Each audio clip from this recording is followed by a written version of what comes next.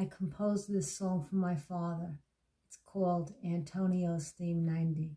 I just lost him in 2021 in January from the coronavirus. So this song goes out to my father.